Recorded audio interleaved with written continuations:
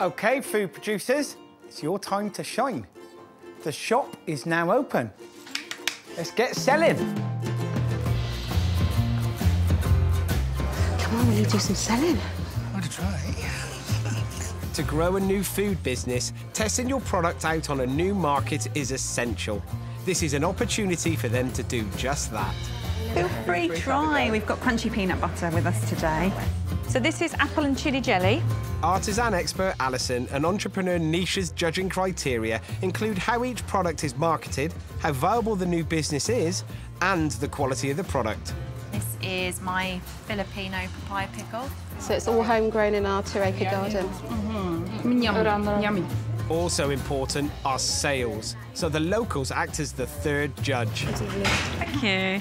Did, did you taste everything? We did, yeah. Everything apart from the peanut butter, I'm afraid. So. You're not a fan, We're of, peanut fan of butter? peanut butter. Well, if you're not a fan of it, why would you even taste Exactly. it? I understand that. I think the jury's still out.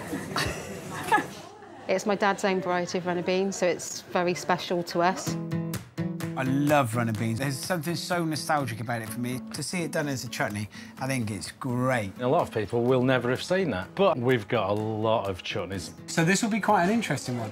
That's a cracking runner bean, let's be honest. Pam and Emily's giant veg is attracting early attention.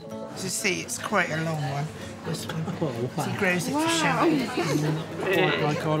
We take a jar. Take a jar. Mm. Thank you. Thank you very much. Yay, You sold a job. Bit nervous that people don't like what you're, you're selling, and, Yeah. and then they come and taste. Very no nice, one's pulled a face on anyway, have they? No No, nobody at all.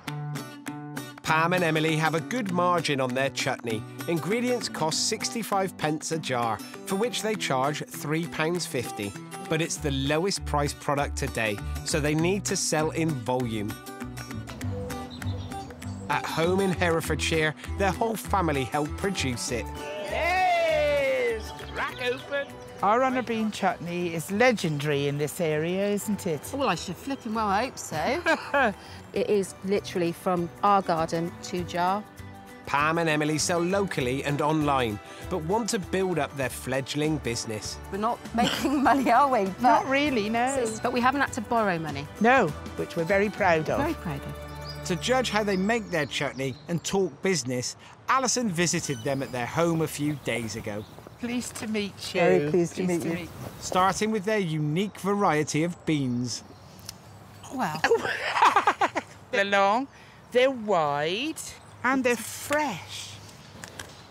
They are absolutely delicious. I wouldn't use them if they didn't taste nice. I bet you wouldn't.